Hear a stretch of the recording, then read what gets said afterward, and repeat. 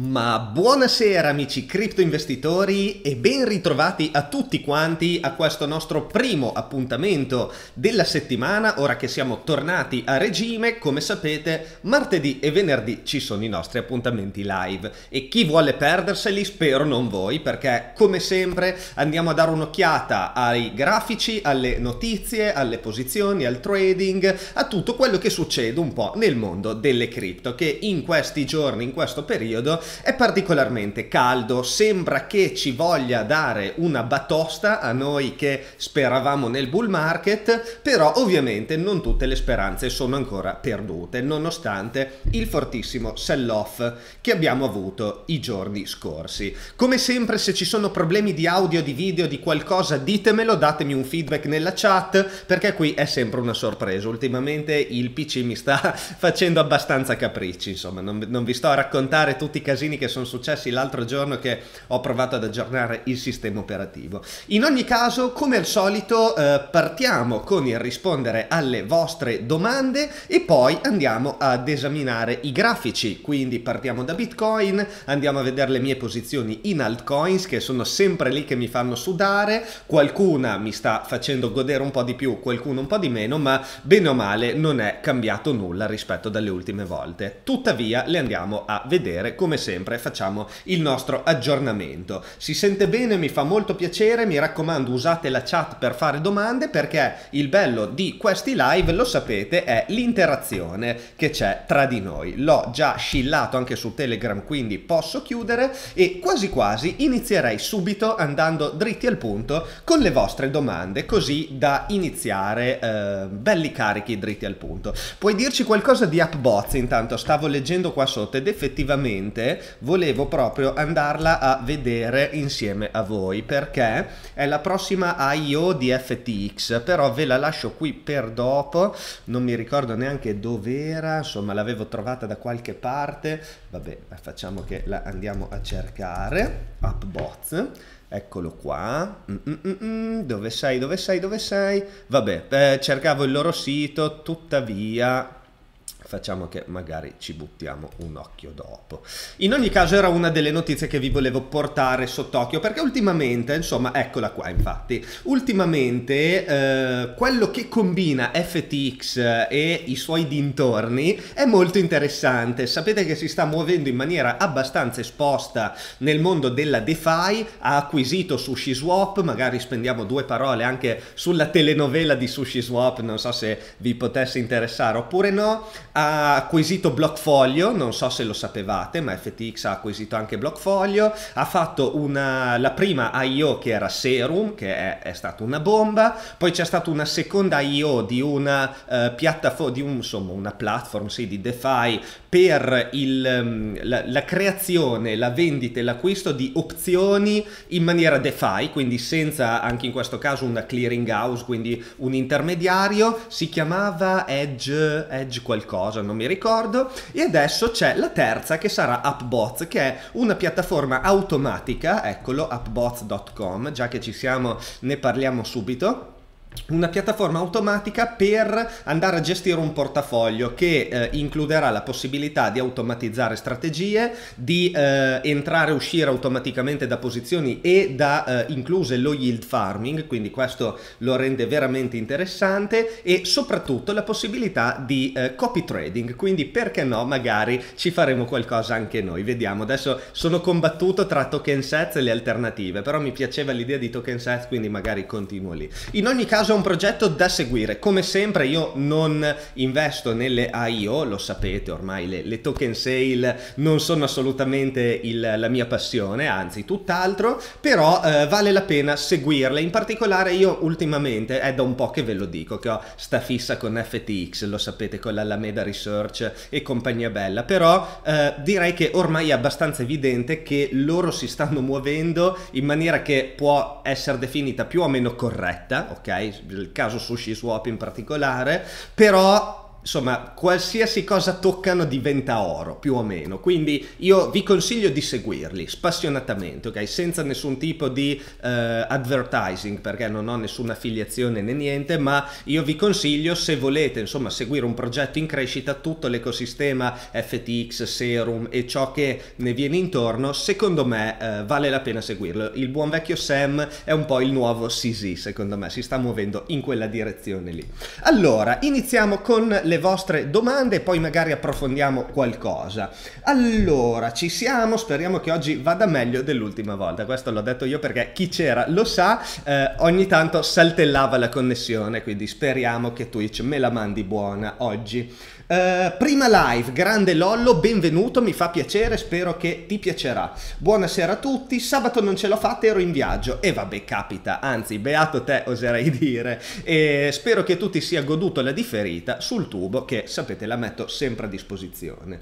Ciao a tutti, finalmente riesco a seguire la diretta, benvenuto anche a te allora. Ciao Luca, secondo te in futuro il mercato cripto sarà ancora fortemente correlato a Bitcoin o Bitcoin pot- potrebbe diventare una cosa a sé stante importante come è l'oro per il mercato azionario? Bella domanda, guarda, io penso che finché la maggioranza dei volumi scambiati in cripto eh, sia passi attraverso Bitcoin, ovvero euro, moneta fiat, stablecoin, bitcoin e ether magari e poche altre e poi da bitcoin c'è la diluizione, cioè il capitale si muove eh, nelle altre altcoins. Ora come ora funziona più o meno così. Eh, la maggioranza dei volumi quantomeno segue questo flusso e questo è un po' quello che le rende correlate. Soprattutto anche il fatto che la volatilità e la speculazione sulle altcoins è alle stelle e questo ovviamente le rende meno appetibili di bitcoin dal punto di vista di investimento. Questo è un po' quello che accade allo stato dell'arte. Quando Bitcoin si muove, di poco o di molto che sia. Le altcoin si muovono in maniera amplificata, si genera molto eh, movimento, molta volatilità, molta turbolenza e quindi quello che accade è che il capitale in altcoins fluisce in bitcoin per poi fluire in fiat o rimanere in bitcoin nel caso in cui bitcoin stia pompando. Nel caso in cui bitcoin stia dampando invece il flusso è altcoins, bitcoin, fiat per uscire dal mercato.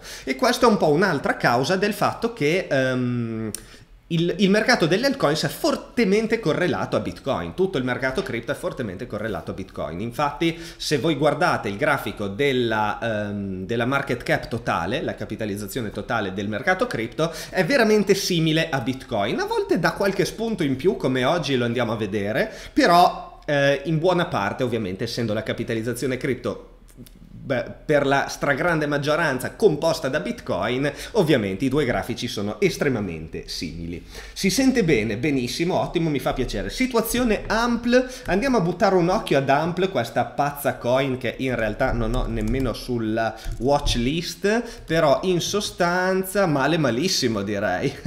Ampl male malissimo, 0,67, quindi rebase negativo, non ci siamo ancora. Ampl diventa interessante solo quando entra in un loop a feedback positivo. Sapete un po' come funziona, no? In sostanza, quando il suo prezzo diventa superiore a 1,05 dollari, oppure diventa inferiore a 0,5 195 circa, ok? Inizia la fase di rebase, in particolare quando gravita qua sopra il rebase è positivo, in sostanza la supply aumenta e quindi vengono create nuove coin e molti dicono monete gratis, in realtà non è così perché è una dinamica finalizzata ad aumentare la supply e eh, andare a diluire un po' la domanda, diluire un po' il valore, lo scopo quindi è stabilizzare il prezzo nell'intorno del dollaro, cosa che al momento come vedete è tutto tutto fuorché successo proprio perché è vista ancora come un asset estremamente speculativo. I volumi sono molto alti perché c'è interesse verso questo asset che è un po' agli albori, non è uno scam, non è un ponzi, non è niente di niente, è una cosa strana, è una novità, un esperimento. Io in quanto tale lo guardo senza entrarci dentro, sapete che il mio approccio è a basso rischio, quando vedo una cosa strana io la lascio lì dov'è. E in sostanza il, cioè, quello che farei se ci dovessi entrare a tutti i costi sarebbe di entrare qualora dovessi vedere una fase di stabilizzazione un po' più prolungata intorno al dollaro che permetta un po' di stabilizzare il mercato verso un nuovo eh, fair price che dovrebbe essere il suo e poi magari l'inizio di una fase eh, a rebase positivo perché spesso eh, durano, ok? Le fasi, i loop eh, a feedback positivo durano perché rebase positivo, più coin, il prezzo sale, airdrop viene visto un po' come un airdrop e quindi c'è più domanda che tiene alla pari il prezzo e così via e dura per un po' fin tanto che non avvengono i sell off. Come vedete in passato è durato parecchio, poi vabbè questa era una fase di parecchia FOMO, poi si è spento, però di solito c'è tempo di capire come funziona, quindi stabilizzazione intorno al dollaro, superamento del dollaro, stabilizzazione vuol dire almeno una settimana e non che, ci, che, lo sfiora e torna indietro perché altrimenti non si crea un, un, fair price, non si crea un prezzo di mercato convincente. Quindi questa è un po' eh, la mia visione su Amplefort che ripeto resto a guardare perché in ogni caso è un asset molto strano. Più che il prezzo ci sarebbe da guardare la, la market cap per capirlo proprio perché è la capitalizzazione a variare eh, dato che soltanto non soltanto il prezzo varia ma anche la supply, quindi quello è un valore un po' più ehm, completo per analizzarlo. Adesso torniamo su Bitcoin, non me ne vogliate, ma Amplefort lo, sa- lo sapete che è un po' un macello. Uh, dunque, dunque, dove siamo arrivati? Siamo arrivati, puoi dirci qualcosa di Abbozz, ne abbiamo già parlato un attimino. Uh, sul canale di Cavicchioli c'è un'intervista a Barrai da non perdere, ci darò un'occhiata, grazie per la, per la condivisione. Ciao a tutti, rieccomi in live, anch'io entrato dalle vacanze. Grande, ben ritrovato, ahimè le vacanze finiscono. Ciao a tutti, finalmente sono riuscito a partecipare ad una live, benvenuto anche a te. Ciao Luca, ben ritrovato. Cosa ne pensi di Cointelegraph e The Cryptonomist? Ma che dire, sono le due testate più seguite a livello italiano. Io ti consiglio anche Crypto Rivista, che eh, conosco bene chi la, la, gestisce e sono molto appassionati, sono molto sul pezzo, quindi aggiungerei anche questa alle fonti da seguire. E che dire, sono fonti di news interessanti. Ci sono, c'è qualche clickbait ogni tanto, insomma è giornalismo, lo conosciamo, però come fonte fonte di news sicuramente vale la pena tenerla in considerazione. Uh, uh, uh, IOST è il terzo live che lo chiedo, giuro che lo andiamo a vedere tra poco, promesso, IOST. Buongiorno amici cripto investitori, benvenuto Donkt, anche a te che sei sempre presente e sul pezzo.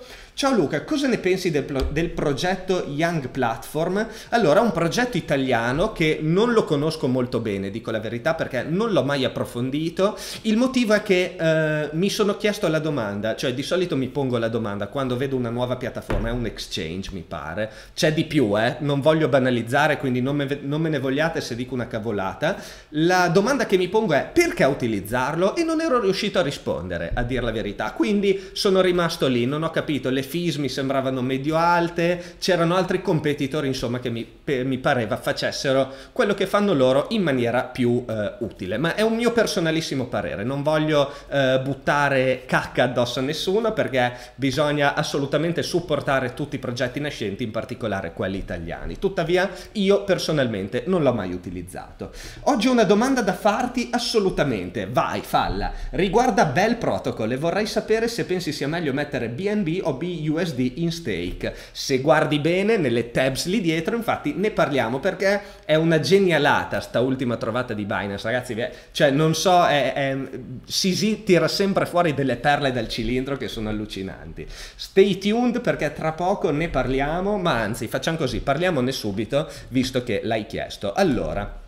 Che cos'è? Cosa succede? Binance per cavalcare un po' il, uh, il trend dello yield farming, no? del mettere in staking token per guadagnare altri token, ha deciso di lanciare un suo pool, anzi di andare a unire il concetto di pool, perché ci sono già i pool di staking in Binance, con il concetto di IO, il concetto di Launchpad, vi ricordate la, la loro famosa lotteria, no? che tu uh, prendi i ticket in base a quanti BNB hai, in base al numero numero di ticket hai più o meno possibilità di essere eh, estratto e quindi di partecipare al token sale, alle eh, IO di Binance. Questo è un po' diverso perché mischia questi due concetti. Cosa vuol dire? Vuol dire che hanno creato questi pool, il pool in particolare di BNB, BUSD o ARPA, che non conosco, dico la verità, sono ignorante, e in sostanza se tu partecipi, se voi partecipate a questi pool, potete eh, andare a ottenere i token Bell, che è questo Bell Bella Protocol, che è la prima launch pool, viene chiamata, che è un po' appunto una, una crasi tra launchpad e, eh, e pool per l'appunto, e um, è un progetto interessante ed è una genialata, perché? Perché è andato ad aumentare in questo modo la domanda per BNB e BUSD anche, ma BUSD è una stablecoin e quindi è BNB ad averne giovato di più in assoluto. Io sono contento perché, come sapete, ho una posizione speculativa e una di holding in BNB e la cosa non può che farmi piacere. In ogni caso, come funziona? Allora, funziona che eh, adesso non sono, non ho fatto l'accesso a BNB, però se voi entrate e andate nelle varie cose nella parte pool, che c'è anche nella app, mi, eccolo, Binance Pool, adesso andiamo a vedere se Uh, me, lo, me, lo, fa fare ecco c'è anche staking uh, adesso forse non è, non è qui uh, o forse è nello staking adesso non ricordo però dovrebbe esserci staking bloccato forse no, no. DeFi staking ecco forse è questo che poi adesso chiamarlo DeFi magari è un po'... No, in realtà questo si utilizza le piattaforme di DeFi. No, non mi ricordo bene dov'è, mi ricordo che sull'app c'è proprio pool e andando in pool si riesce direttamente a farlo da lì. Io l'avevo guardato lì. E in sostanza quello che accade, adesso ritorno a dove ero prima perché quello che vi volevo spiegare era il caso specifico, in sostanza mettendo in staking il proprio... Eh, eccolo, aspettate, forse è qui.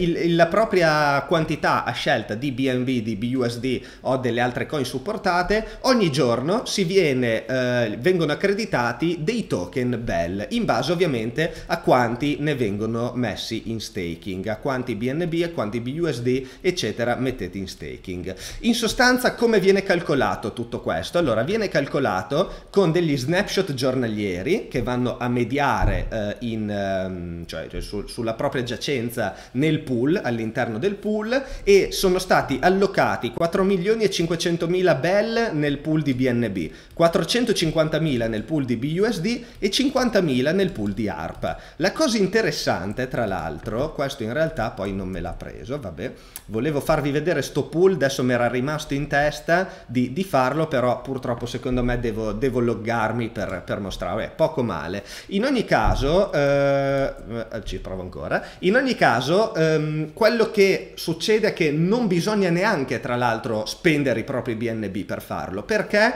viene airdroppato questo token, quindi voi tenete lì BNB, li mettete in staking e eh, oltre a... eccolo qua, l'ho trovato, finalmente ce l'abbiamo fatta, quindi savings, c'è da andare in finance, savings e poi dentro savings vedete ci sono i tre pool, quindi il BNB pool eh, dà lo 0,27% annuo di suo, quindi questo è il suo staking pool, il pool di BUSD 5,80%, il pool di ARPA 1%. Inoltre vedete che sono etichettati come launch pool, quindi andando a uh, trasferire dei, le, le, proprie coin all'interno di questi launch pool, a questi pool che ne fanno parte, permette l'airdrop dei token Bell, quindi dovete semplicemente tenerli lì. Si possono unstake eh, in qualsiasi momento, quindi svincolare, non c'è nessun tipo di vincolo e vi ripeto è un airdrop, quindi non c'è da spendere i BNB ed è questa la cosa geniale che insomma non devi più nemmeno pagarla la IO, ma te la airdroppano in testa. Ovviamente le quantità sono minori perché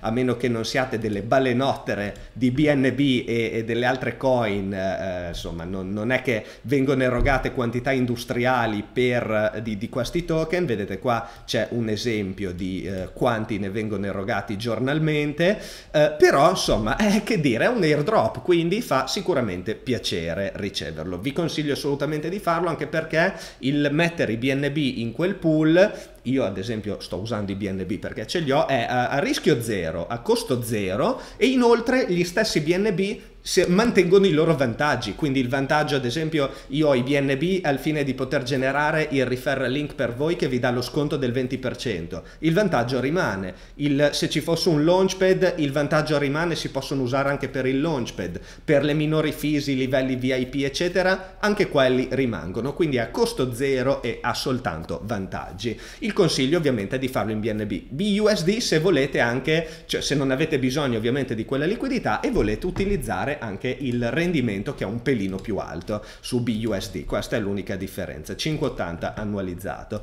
Il progetto Bell in sostanza è una piattaforma all-in-one di DeFi che eh, punta a eh, incrociare tutti i servizi principali che possono essere necessari nel mondo DeFi, liquidity mining, savings, quindi ovviamente il, il pooling, quello che fa un po' eh, Finance, che l'abbiamo un po' visto ieri, e poi eh, dei protocolli semplificati per saltare da un prodotto all'altro, che sapete adesso è un po' complicato. Tuttavia, se volete approfondirlo, eh, lo potete trovare sulla pagina di Binance. Oggi non voglio stare a parlare di questo, altrimenti stiamo qui un'ora soltanto per Bella Protocol.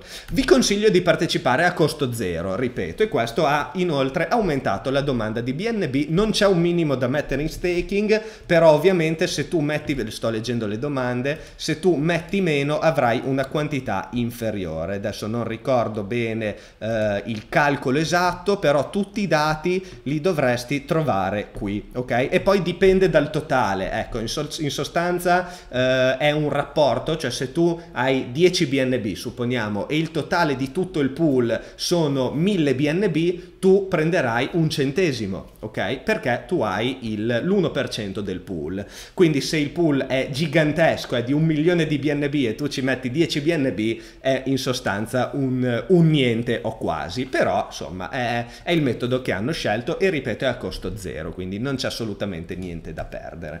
Continuiamo con le vostre domande. Uh, ciao Luca, cosa ne pensi di Avax? I prossimi Ethereum spuntano come, come, funghi. Allora, non lo conosco, a dire la verità, anche se, scusate, anche se la percentuale per lo stake di BNB è inferiore, pensi che l'airdrop di Bell sia più importante per lo stake rispetto a BUSD? Guarda, io penso che uh, sì, sinceramente sì, io sceglierei BNB perché il rendimento è abbastanza trascurabile su BUSD, un 5% annuo non è granché, a meno che tu non voglia tenerlo lì poi per lungo periodo, eh, però sinceramente se non si parla di somme ciclopiche io utilizzerei BNB anche perché su BNB c'è un'allocazione maggiore di token bell quindi c'è una, forse una possibilità anche maggiore di ottenerne credo, una quantità maggiore, insomma, quindi io, io, farei quello. Torniamo indietro, scusate, l'avevo vista lì una domanda sul tema, quindi l'ho presa. Cosa ne pensi di AVAX? I prossimi Ethereum spuntano come funghi. Guarda, i prossimi Ethereum lasciano il tempo che trovano perché non ci sarà nessun prossimo Ethereum. Io credo che ehm, Ethereum sia unico in quanto community in quanto eh, ecosistema di sviluppo e non credo che verrà soppiantato, semmai verrà affiancato. Questa competizione è Avalanche, magari la conosci con questo nome? No, purtroppo non la conosco. In realtà eh, ti volevo dire che um, i prossimi Ethereum non sono i prossimi Ethereum, saranno delle piattaforme che lo affiancheranno, come ad esempio Polkadot, magari Tron, chi lo sa, ultimamente Tron sta facendo delle mosse che non sono da, da buttare via, sta creando un suo piccolo l'ecosistema, poi può piacere, può non piacere, a me continua a non piacere granché. Io sono molto concentrato su Ethereum perché vedo lì il grosso dello sviluppo. La, il punto forte di Ethereum è la community, ok? La community che punta sempre alla condivisione, alla creazione e all'uguaglianza, diciamo, perché come sapete eh, molti puntano soltanto a quasi a fare i loro interessi, la community di sviluppo intorno a Ethereum invece sembra più orientata allo sviluppo e alla, alla community stessa, alla crescita stessa. Vitalik Buterin in particolare, un personaggio molto strano, ma a me sembra un, un bravo Cristo, insomma, una persona abbastanza altruista e questo crea un, un ecosistema fertile per lo sviluppo, molto eh, partecipativo ed inclusivo. Al di là di questo, ovviamente, poi tutte le piattaforme al momento sono principalmente su Ethereum e questo è un grosso stress test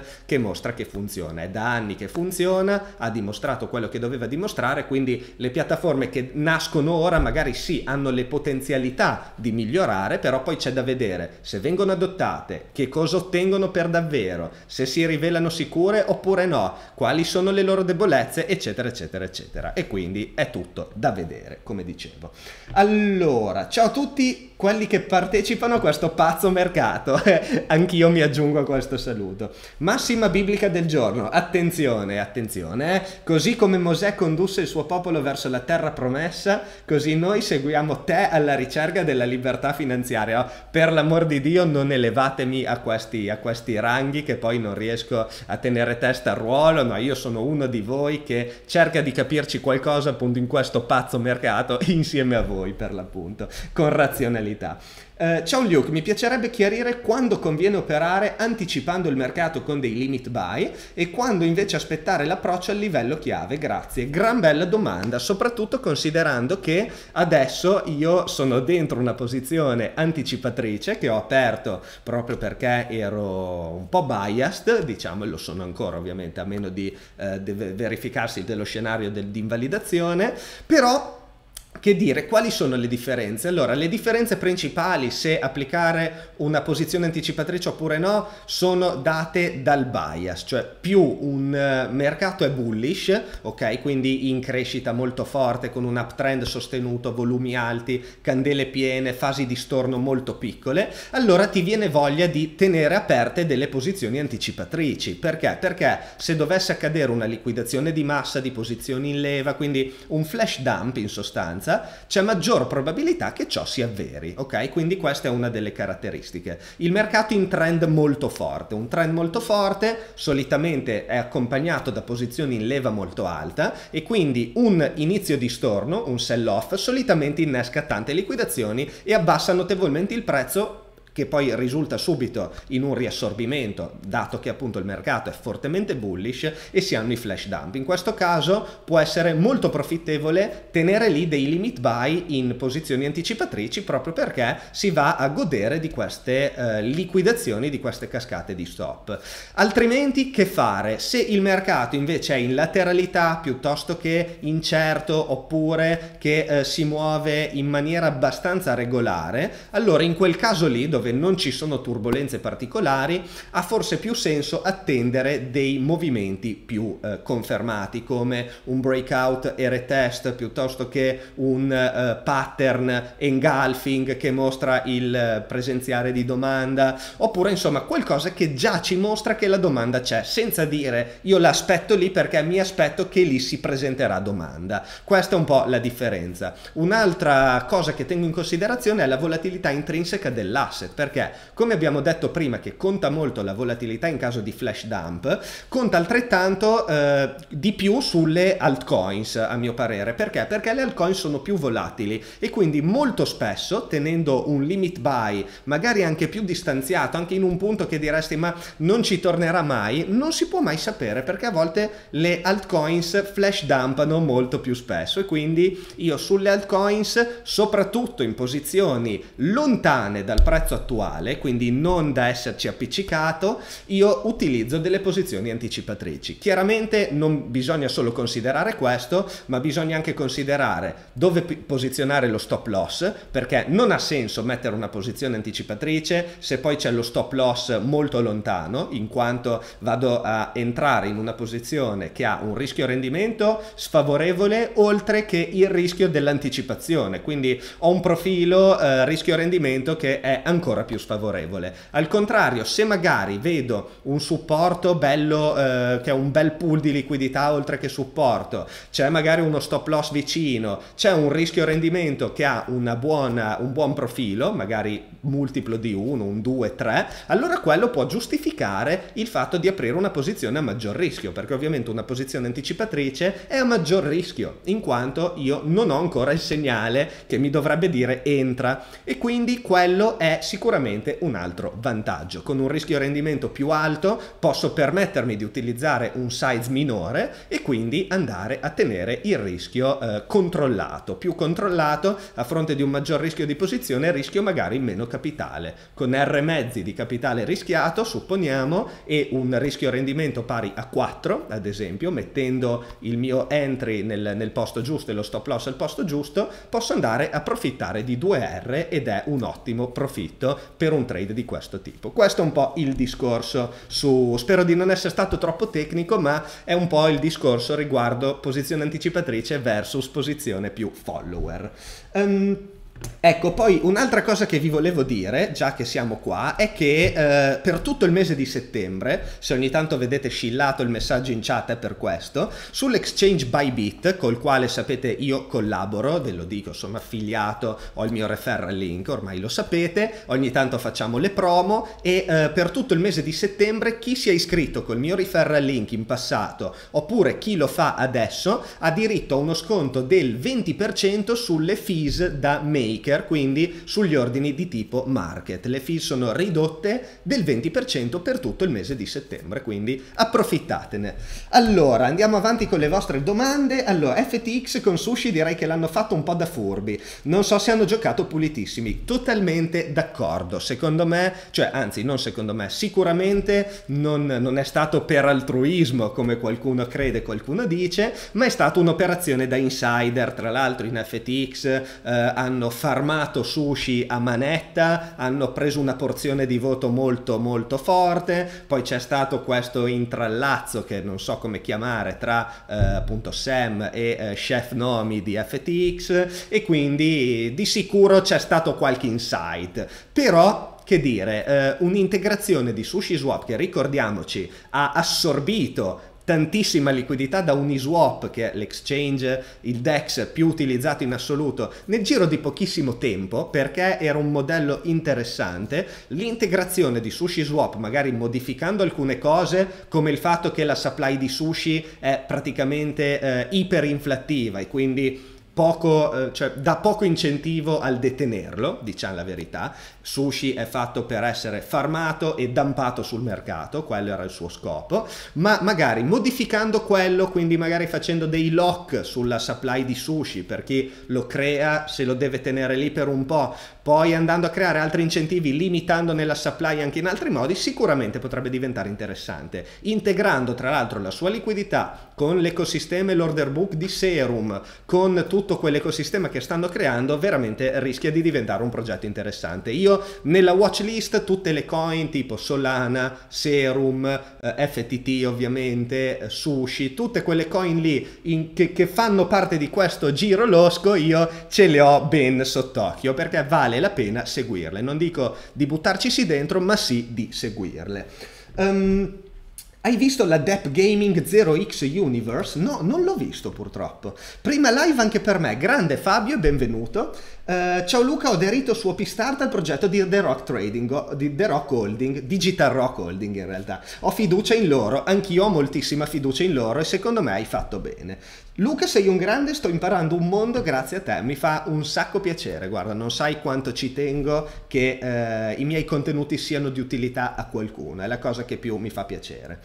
Ciao, che ne pensi del cloud storage su blockchain? Ma guarda, ora come ora eh, non ci vedo delle particolari utilità pratiche, cioè è vero, il protocollo cos'è? Eh, IPFS, il file storage decentralizzato, può essere fondamentale per alcune eh, applicazioni, però non è ancora arrivato secondo me su larga scala, quindi è un settore che è ancora forse un po' piccolo, un po' di nicchia, deve ancora trovare il suo ruolo in tutto questo marasma. Puoi fare il punto su Ample, ma eh, dunque dimmi se non, non, ci siamo capiti, non, non, si è capito qualcosa, non lo so. Eh, Ample è iper speculativa, al momento è in una fase ribassista, quindi è da lasciare lì. Io non farei delle, degli azzardi tipo dei buy the dip o follie del genere perché non è veramente il caso. Semmai, se proprio ci abbiamo, abbiamo la fregola di farlo, aspettare la fase a, a, loop positivo e stare attenti che se la perde di, di chiudere la posizione e lasciare lì. Non di fare follie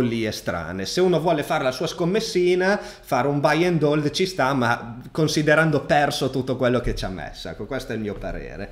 Um, allora, allora, allora, allora. Uh, Luke, hai per caso un ref per FTX? Ma che domande fai? Cioè, io sono l'uomo ref, io ho un ref per tutto.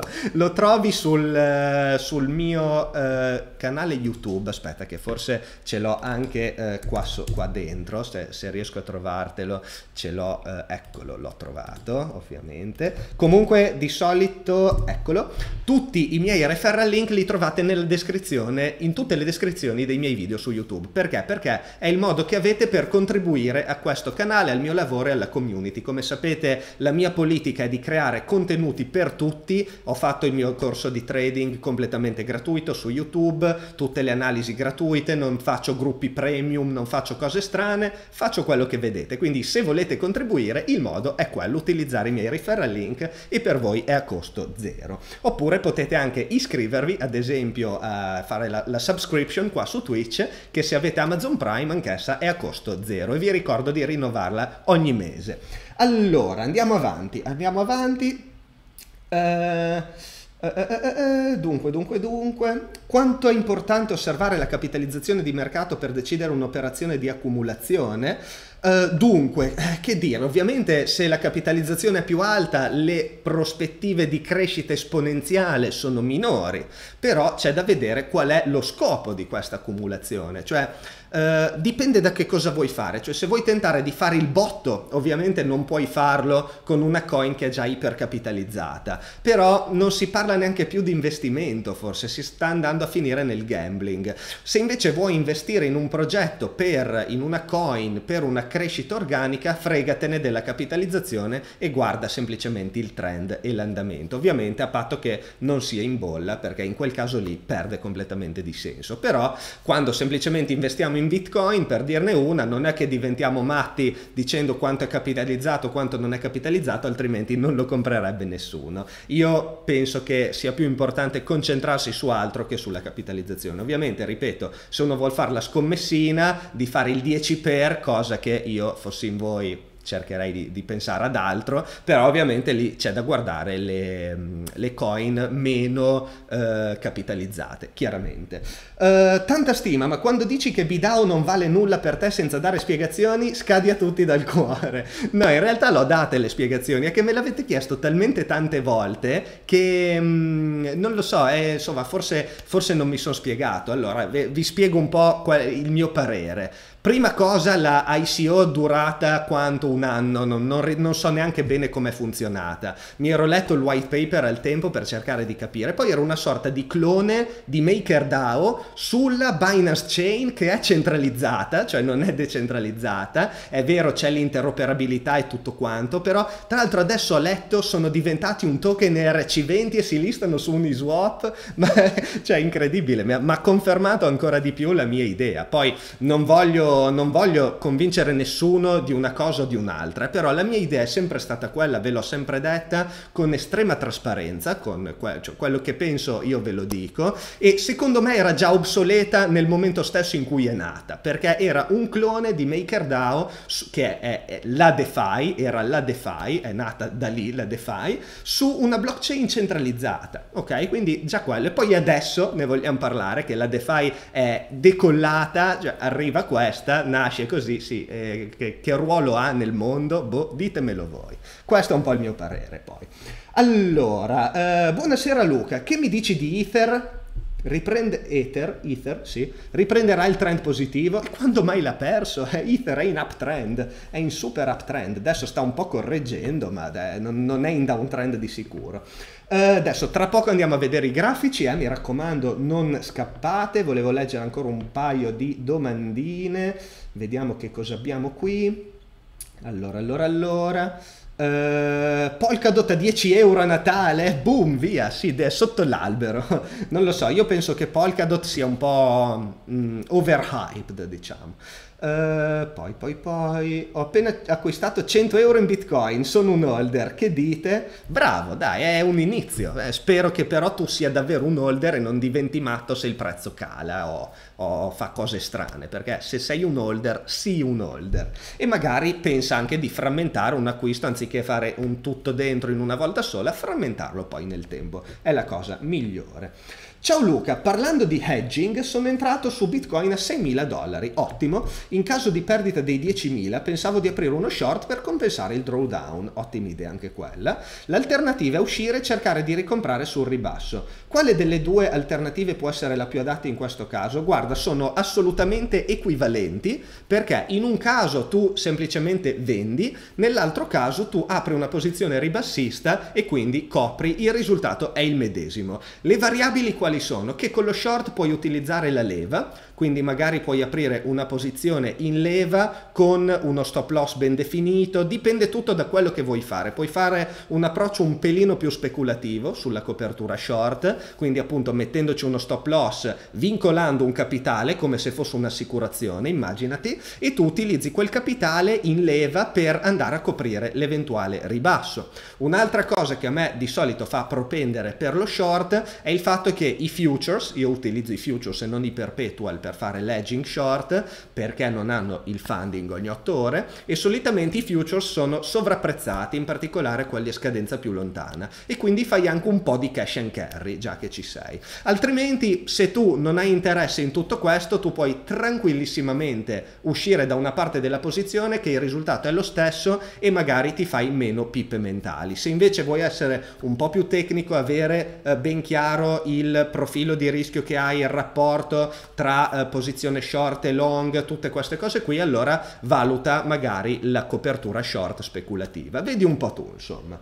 Uh, da un po' anche Exodus ha messo lo staking su alcune monete, beh dai ci sta anche perché è un wallet e ormai uh, il detenere le coin nel wallet uh, senza farci niente sta passando di moda, quindi con la DeFi che impazza ci può stare. Anche se la percentuale per... ok, questa l'abbiamo già letta.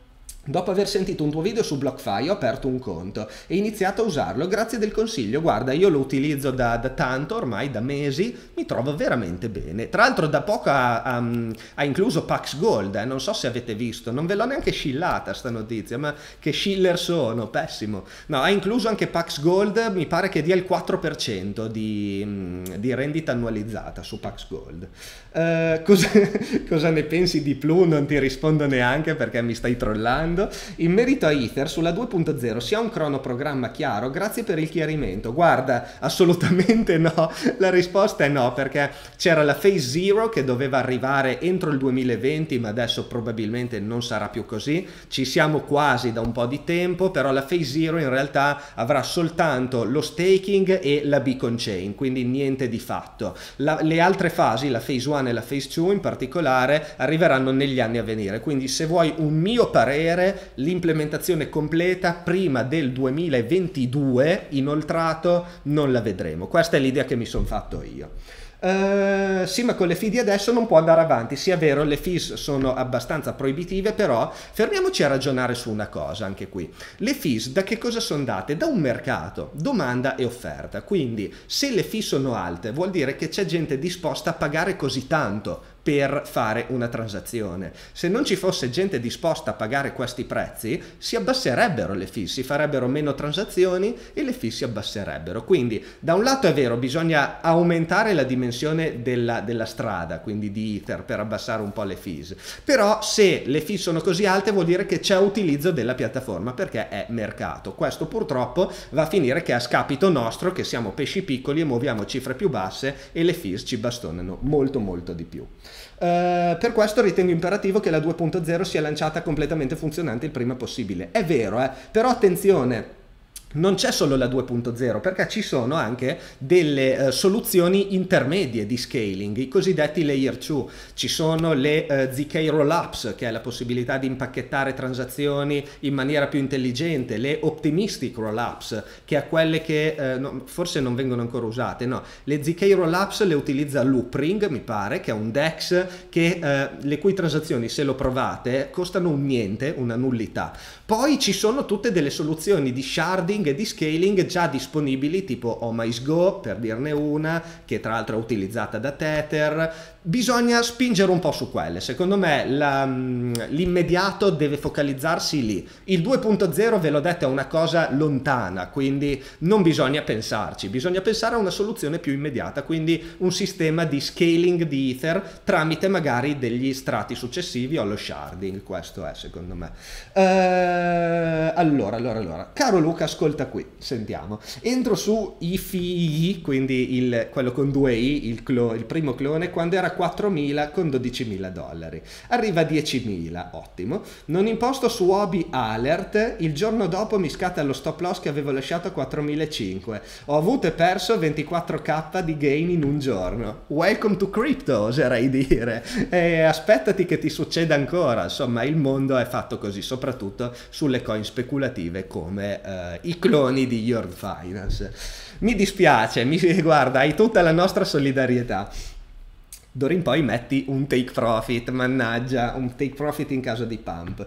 Uh, allora, allora, allora il volume profile che vediamo quanti giorni sta tenendo in considerazione tutto l'intervallo visibile, quindi se io zoom il grafico cambia. Andiamo a vedere adesso direi un po' di grafici, dai, andiamo a buttarci un occhio così vediamo la situazione, che è la cosa più interessante in questo periodo. Allora, Bitcoin è in una fase di storno abbastanza violento, è stato uno storno repentino eh, che si è innescato con un sell-off improvviso, tac e tac, vedete? Allora, il sell-off è stato soprattutto questo che ha innescato lo storno perché? Perché ha bucato questo range, il range che era iniziato eh, dal, dall'uptrend, dalla fase terminale dell'uptrend a fine luglio e eh, che era culminato con questi falsi breakout che hanno eh, marcato i massimi locali. Il range high tuttavia era come sempre, come da definizione di range high, il eh, top del movimento terminale per l'appunto di Bitcoin stesso e eh, quindi era a 11.008. Poi ci sono stati falsi break, quindi falsi attacchi al, al, range high che però sono risultati appunto in un riassorbimento e alla fine invece è stato il range low ad essere perso perché l'offerta l'ha bucato con una candelona tremendamente grande, tremendamente accompagnata da volumi che non ha lasciato adito a dubbi. Quindi ha detto il range è bello che perso. Quello che volevo fare io, e qui torniamo al tema del della posizione anticipatrice oppure no, era di eh, tenere aperta una posizione anticipatrice su quest'area. Vi ricordate? Da tempo lo dicevamo. Siamo in uptrend molto forte, era quello che dicevo. Stiamo lateralizzando qui, pertanto esiste la concreta possibilità di perdere il range, fare un flash crash dovuto a tutta la liquidità che si trova sotto al range, che quella non era una novità. Insomma, sapete quanti stop loss si trovano sotto a un livello così importante come questo qui nato dal cluster eh, nell'intorno degli 11.000 all'inizio del movimento stesso e allora ho detto ma sa facciamo i fenomeni andiamo a mettere un bel limit buy e sfruttiamo quelle liquidazioni perché mi aspettavo che triggerasse liquidazioni e stop e va a finire lì e poi subito la domanda l'assorbisse e facendo una, eh, una sorta appunto di candela con una lower shadow lunghissima e riassorbimento immediato. Cos'è successo? È successo che non è andato come previsto. Eh, perché? Perché anche questo capita, bisogna eh, tenerlo in considerazione. In particolare è accaduto che non c'è stato nessun tipo di riassorbimento, quindi il, lo scenario di flash dump è già bello che accantonato e io adesso sono con la mia posizione aperta il cui prezzo medio è 10.280 e qualcosa, non ricordo, ce l'ho segnato da qualche parte, lo stop loss 9400 e qualcosa sotto a questo livello, tra poco vi spiego anche il perché, e eh, ho meditato più volte, ho detto cosa faccio, la tengo aperta, la chiudo, allora ho deciso di tenerla aperta nel caso in cui questa fosse una deviation, la deviation in sostanza è il avere magari un movimento qui, un supporto molto forte qua, abbiamo un dump, magari lateralizziamo un po' e poi ci ritorniamo dentro, questa fase fase si chiama deviation, che è una forma di falso break, solo che non è eh, fatta così, cioè tac tac, come il classico falso break che è, si, si chiude nel giro di poche candele, ma è tac tac, tac, ok? Questa è un po' la differenza. Si parla poi di, di tecnicismi, alla fine eh, è, è, un falso movimento anche questo. Pertanto ho deciso di mantenere il setup come pensato all'inizio, con stop loss sotto i 9500, per quale motivo? Perché qua abbiamo questo livello, questo cluster, 9580 e dintorni, ma perché proprio lì? Perché come vedete qua c'è un altro riferimento importante, ovvero il range all'interno del quale ci muovevamo un po' di tempo fa. Questo range che va dai 10.000, top 10.000, bottom 8.006 e qualcosa. Se noi andiamo a perdere cioè in realtà già se noi andiamo a perdere questa zona, eh, perché questa è la liquidità che dovrebbe essere in domanda adesso, perché qui c'era l'offerta, ok? Era liquidità in offerta, vedete che ogni approccio risultava in, un, in una respinta, fin tanto che l'offerta non è stata catturata, assorbita dalla domanda e poi è diventato, cioè teoricamente se il flip è completo, diventa liquidità in domanda ed è anche questa una delle ipotesi sulle quali si basava la mia posizione in, questa, uh, in questo punto qua, ok? No, batteria mouse molto scarica, benissimo, ci mancava solo questo. E quello che vi volevo dire è che uh, sostanzialmente mh, mm, adesso se la domanda rimane, quindi se la domanda mi dà ragione e uh, continua a sostenere questo movimento, allora io sono molto contento e vado avanti in questa direzione, quindi tengo la posizione aperta e magari godo del reclaim del range, che sarebbe appunto lo scenario bullish. Al contrario, qualora dovesse perdere e rientrare nel range, riassorbire il range, ritornare nella situazione in cui ci trovavamo a luglio, allora tutto questo non sussiste e mi salta lo stop loss ed è ovviamente lo scenario bearish. L'ho messo qua sotto perché c'è un altro supporto importante, cioè questo livello di liquidità, che al momento dovrebbe eh, sostenere un po'. Quindi se fa un'altra leg down down e buca anche quello è abbastanza per farmi dire ok abbiamo perso questo pool di liquidità siamo ritornati all'interno del range facciamo un passo indietro e ritorniamo al lontano maggio giugno e, e, e luglio sì 2020 20 quest'anno sempre.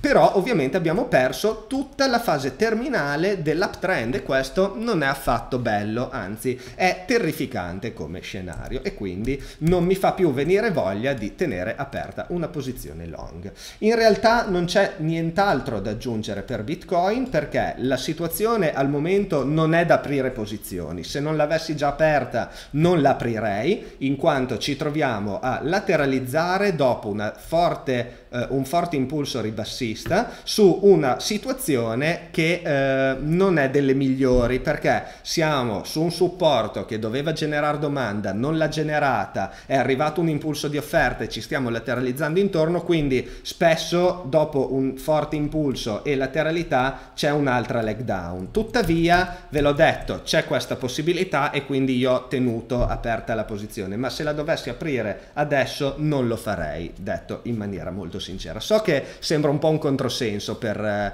per certi versi, però è, è, così, insomma. Ora come ora non l'aprirei, l'ho già aperta, piuttosto che chiuderla anticipatamente, tengo la possibilità che vada in quest'altro modo. Uh, per aprire posizioni, allora abbiamo questo mini range qua all'interno che magari nell'intraday potrebbe servire a qualcosa. In che senso? Nel senso che se noi andiamo a rompere il range, quindi a chiudere il daily qua fuori o qua fuori, nell'intraday mi potrebbe dare un bias per espormi long oppure short. Tuttavia questo appunto rimane circoscritto su posizioni di brevissimo perché una posizione long andrebbe comunque eh, da qui a qui perché andare più su ovviamente abbiamo una resistenza più forte, più high time frame da rompere e eh, allo stesso modo lo short andrebbe da qui a qui perché il macro rimane bullish, vi ricordo comunque il quadro complessivo è sempre bullish. Questo eh, direi che è quanto. Io come punto di agire, allora la, la mia posizione la sapete vedete la andrei magari a rinforzare, che sarebbe un altro setup long, nel caso in cui dovessimo fare un reclaim degli 11.000. Quindi se io fossi fuori attenderei il reclaim degli 11.000 per aprire la posizione long, perché eh, è un segno molto forte di eh, domanda, perché andremo a recuperare il range stesso e confermeremmo quindi l'ipotesi di deviation. Andiamo a vedere un attimino adesso le altre mie posizioni che eh, sono eh, Atom, che ce l'ho ancora aperta anche questa eh, perché ho, insomma, lo sapete, ve l'ho detto, l'avevamo aperta qua. Eh, non ho fatto take profit dopo questo pump, mea culpa, infatti mi sono scritto a caratteri cubitali le regole da seguire, in particolare dopo un insane pump fare sempre un take profit parziale, dopo un pump del 30% se non fai take profit sei un pirla.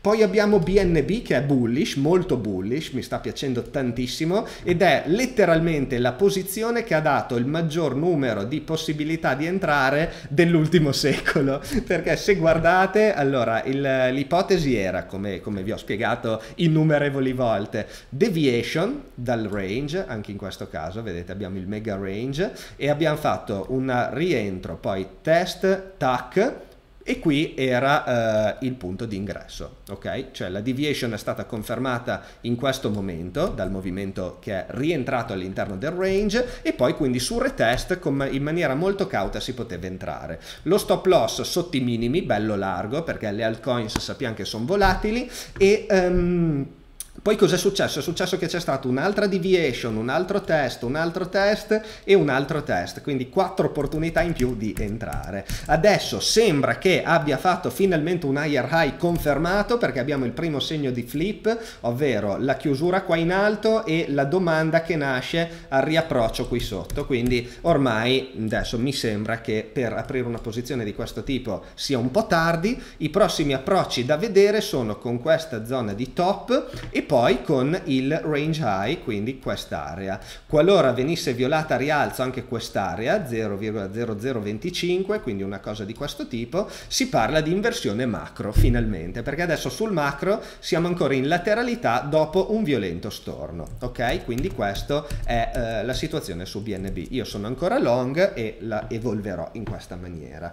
Poi abbiamo Ether, che eh, sono ancora long però mi sta convincendo un pelino meno perché come vedete c'è stato questo che è il supporto principale su time frame settimanale a un cluster è stato un po' sfruttato troppo, vedete, assorbimento qui, assorbimento qui, assorbimento qua. E in particolare se dovessimo andare a iniziare a chiudere delle candele giornaliere qua sotto, chiudere proprio intendo, allora credo che uscirei dalla posizione long speculativa, perché qua c'è una resistenza molto violenta, che l'avevamo vista meglio su time frame settimanale, che vedete è, eh, nasce proprio dal, da un vecchio costrutto storico.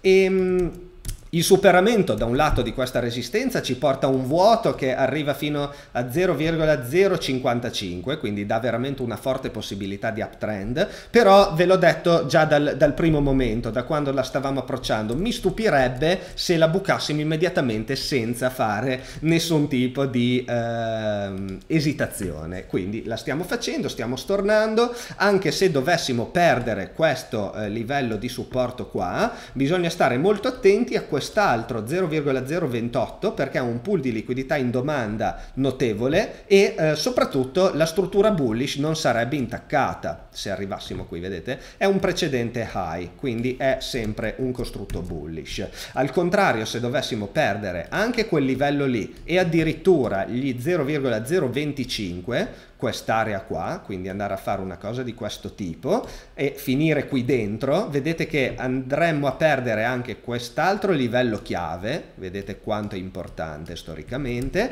ritorneremmo in questo costrutto di bottom, quindi faremmo grossi passi indietro e la struttura bullish per quanto mi riguarda sarebbe fortemente compromessa.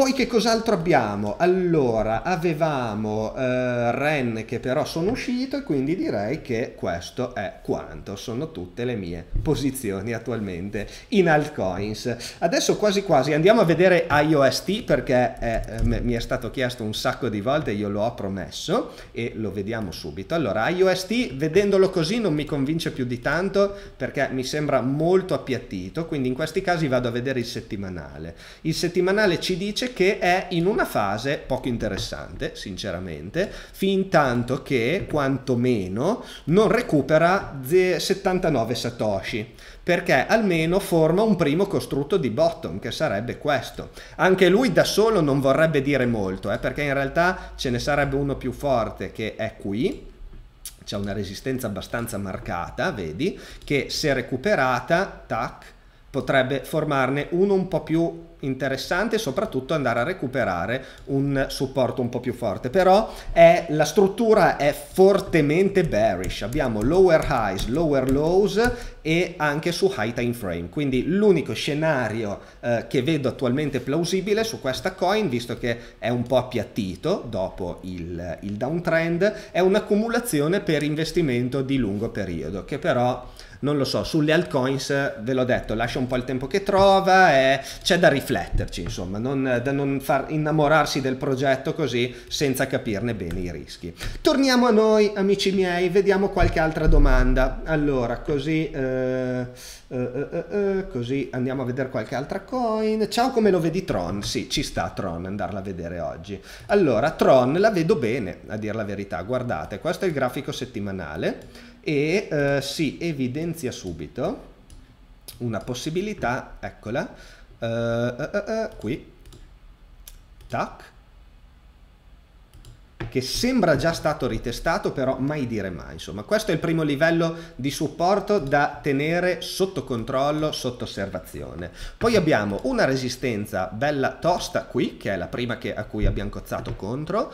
Poi abbiamo un altro livello chiave che è questo qua, che è un'altra resistenzina se vogliamo. Poi ne abbiamo un'altra, faccio un bel copia e incolla perché sono pigro, uh, uh, uh, qui, tacchete altro clusterino e direi che questo è quanto per ora. Volendo ne abbiamo uno anche qua però forse è minore perché poi è stato bucato ma sì lasciamolo fuori. Questi, questi sono quelli che terrei più in considerazione. Quindi primo segno qua tac il, la chiusura qua sopra confermata.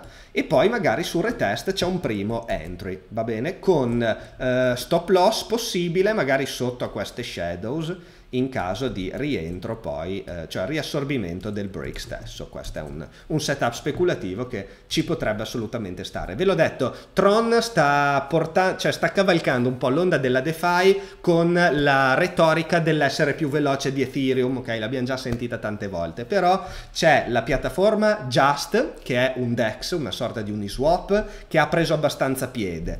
Poi ha fatto alcune acquisizioni interessanti, sembra in ambito DeFi, eh, Tether ha lanciato sulla piattaforma Tron, sulla blockchain Tron, proprio per problemi di lentezza di Ethereum, quindi insomma ehm, sta crescendo, finalmente si vede qualche applicazione più concreta della blockchain Tron, può valer la pena, lo dico da, eh, non dico hater, ma da non simpatizzante di Justin Sun, però può valer la pena magari iniziare a darci un'occhiatina, perché comunque Tron ha continuato a costruire nel tempo. Andiamo avanti con le ultime domandine. Uh, uh, uh, Ciao Luca, potresti indicare una entry su Chainlink euro addirittura? Allora, guarda, facciamo così. Io analizzo, lo analizzo in dollari perché link euro non so dove sia e secondo me non ha grossi volumi. Quindi facciamo che lo andiamo a vedere in dollari e poi eventualmente lo trasliamo lì. Allora, guarda, io vedo subito un livello interessante che è questo. 8 7,58. Mi fermo qui perché secondo me adesso ha un po' da stornare, insomma, vista la violenza di, questo, eh, di questa correzione, potrebbe essere ehm, ancora un po' di sto- potrebbe esserci ancora un po' di storno. Toh, se vuoi possiamo andarla ad ampliare fino alla upper shadow, così giusto da uh, ampliare le possibilità di entry. Questo ovviamente uh, punta al fatto che, cioè dà per scontato il fatto che non si vada a violare la struttura macro, perché se poi andiamo a perdere questo livello, ok, che è un, un, uno stop loss ideale per un entry di questo tipo, andiamo allora a osservare poi eh, più giù cioè quest'altro livello di supporto 4,4 quindi se dovesse fare così molto bene cioè si deve presentare domanda qua questa è una posizione anticipatrice ripeto cioè si può o mettere già il limit order e aspettare il fill e sperare che vada bene posizione anticipatrice o altrimenti aspettare che arriviamo qui scendere di time frame sul giornaliero guardare un segno di domanda come un engulfing to, facciamo tipo scende così un engulfing bullish e allora subito, che ne so, due candeli indietro, metto l'entry sul retest e cerco di fare una cosa di questo tipo. È un'entrata più cauta, va bene? È la differenza di cui parlavamo poco fa.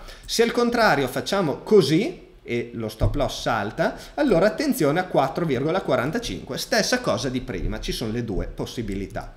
Questo è un po' link. In euro poi fai magari la conversione. Questo se vuoi fare un trade, se vuoi fare un investimento, eh, il discorso è sempre quello di andare a fare il, il, cioè andare a fare media, mediare i prezzi, a fare la, la famosa DCA, che va sempre bene. Uh, dunque, dunque, dunque, uh, un occhio a Cardano, andiamo a dare un occhio a Cardano altra coin di cui non sono particolarmente fan, ma allora speculativamente Uh, ci aveva provato perché aveva provato a fare un breakout vedete qua aveva fatto questo range che noi avevamo seguito vi ricordate? Ha fatto il breakout io volevo entrare qua tra l'altro e non ci sono riuscito ma ha missato tipo di due satoshi e mi ha fatto girare abbastanza le palle. Poi però ha fallito nel fare un higher high e questa è una cosa molto brutta per quanto mi riguarda. Questo è un segnale di eh, non cambiamento di struttura quindi continua a non piacermi e io non ho intenzione di toccarla. Uh, uh, tante nuove coin da ignorare, viva Bitcoin. Potresti controllare STX. Che cos'è STX? Ma è Synthetix? No, SNX. STX Blockstack mi fate conoscere sempre delle nuove coin voi, siete fantastici. Allora, storico basso, storico breve anzi, quindi non mi sconfinfera più di tanto, però 2553 è una resistenza che attenderei di eh, veder violata per entrare long. Tutto qua. Questo è eh, con discorso che qualora dovessimo fare un bel breakout c'è la possibilità di entry poi sul top della shadow per avere meno possibilità di mancare, quindi per cercare di entrare il più possibile. Stop loss nel caso di assorbimento e quindi di perdita del, eh, della zona recuperata. Però, ripeto, storico basso, non conosco la coin e tutto, tutti i disclaimer del caso. Ehm... Dunque, dunque, dunque, dunque, vediamo cos'altro abbiamo qui. Al volo Link e Cava. Allora, Link lo andiamo a vedere anche in BTC e poi andiamo a vedere pure Cava, che poi tra poco me lo sento, mi si scarica il mouse, me lo sento veramente. Allora, Link, guardate, Link BTC che è il grafico che mi piace di più. Allora, time frame settimanale, vediamo che uh, c'è solo quest'area intermedia eh, durante questo folle uptrend che eh, però non ci dice molto, è un'area troppo larga, quindi preferisco tornare sul giornaliero. Qui abbiamo una struttura fortemente bullish con segni di inversione. Sul giornaliero, guardate cosa abbiamo. Allora, abbiamo il, una, una resistenza molto forte, che è questa, che si è eh, tra l'altro confermata tale. Guardate l'offerta come ha agito in prossimità di essa, ha svenduto di nuovo, riattaccando il supporto, che è quest'altro cluster, vedete, nasce da qua, e a, al momento questo supporto ha iniziato un po' a scricchiolare. Perché? Guardate cosa è successo, è curioso questo, questo movimento. Abbiamo dampato sotto il supporto, siamo caduti dritti dritti nella zona di liquidità in domanda qua sotto, vedete, tra, il top, tra la chiusura top e la shadow top e c'è stata domanda perché abbiamo avuto una candela engulfing bullish e adesso c'è un lento retest, quindi questa volendo per chi ha voglia di buttarsi in link potrebbe essere un'opportunità speculativa. Con stop loss, eh, eh qua viene difficile. Ipotesi 1, speculazione più aggressiva, stop loss da questa parte, più o meno, sotto un po'... cioè il, il, il livello chiave da considerare, da, che voglio non vedere assorbito, è questo, perché è il cluster di domanda e lo stop loss però ovviamente lo metto un po' sotto, magari sotto a queste shadows giusto per... Mm. Uh, altrimenti stop loss qua sotto, però è più largo, vedete voi, insomma, eh, quanto, quanto, deve essere speculativa oppure no. In caso di perdita anche di questo livello andiamo a finire qua dentro, quindi 1 e 2 sono gli altri livellini. E poi si segue insomma vediamo perché se dovesse perdere anche questo livello qua eh, insomma inizia a diventare una correzione un po' più profonda che va a perdere il precedente high. Diventa uno storno destinato a durare un po' di più sicuramente. Andiamo a vedere cava. Cava BTC eccolo Cava BTC anche lui insomma inizia a mostrare dei segni di debolezza, è stata una coin che ha eh, bollato, è andata abbastanza parabolica e adesso ne sta pagando un po' lo scotto perché ha fatto un costrutto di top che è questo, l'ha violato al ribasso violando anche questo, questa zona che era vedete un range che nasce qui, quindi un cluster di prezzo bucato, eh, adesso stiamo gravitando qui sotto quindi sinceramente non vedo più segni di domanda e quindi mi aspetto eh, altre leg down, a meno che ovviamente non si vedano segni di domanda. Il primo segno di domanda potrebbe essere un reclaim di questa zona, quindi così. E allora potrebbe essere interessante un eventuale entry long, ma altrimenti la cosa più plausibile che vedo è un lento eh, per poi di nuovo fare un attacco ribassista. Se vediamo persa anche quest'area, non benissimo perché vedete che rientriamo un po' nella zona iniziale e quindi i supporti principali poi sarebbero qua all'interno tra 11.300 e 13.000 satoshi. Questa cava, paga un po' lo scotto della, uh, della, bolla, del movimento parabolico. Allora, termino dicendovi una cosa, non so se avete visto questa bellissima maglietta che ho su, me l'ha mandato un amico che ho conosciuto l'anno scorso alla Crypto Conference a Milano e ha aperto una piccola attività dove produce questo, c'è un piccolo negozietto in realtà su eBay per adesso, ve lo raccomando, si chiama Odler Squad e vedete non c'è soltanto questa che dice che Bitcoin è morto e qua in piccolo c'è scritto 380 volte che adesso secondo me sono già di più, ma ce n'è anche altre, guardate, me le ha mandate tutte, infatti questa fierissimo l'ho messa stamattina in ufficio, Odler Squad, e poi abbiamo quest'altra, che la vedete sempre lì, con dentro la famosissima frase de, del, del, Times, insomma, inclusa nel Genesis block. E mi piacciono, mi piacciono, sono di qualità, sono belle, c'è il loro loghetto qua in tessuto qui sotto e quindi ve li scillo molto volentieri. Ringrazio Cesare se mi stai guardando per avermele mandate, se le volete anche voi qui su eBay, guardate, vi scillo anche il link perché ne vale davvero la pena, è una cosa carina, insomma, così per fare eh, un po' eh, i bitcoiner come si deve. Quale bitcoiner non ha una maglietta? Per l'angolo shilling vi ripeto ancora che su Bybit per il mese di settembre col mio referral link se l'avete già usato, bravi, se non l'avete usato non avete ancora un profilo su Bybit, fatelo col mio referral link che trovate in descrizione sul tubo, ho scillato qua nella chat ogni tanto, sconto del 20% sulle maker fees, quindi sugli ordini di tipo market. Detto questo vi faccio un caro saluto, ci vediamo vediamo venerdì in live e giovedì per un altro video che devo ancora decidere quale sarà. Chissà, mi verrà l'illuminazione in questi giorni. Sempre comunque gasati ai massimi, mi raccomando, perché questo è ciò che ci contraddistingue. Ragazzi, di nuovo un caro saluto e alla prossima!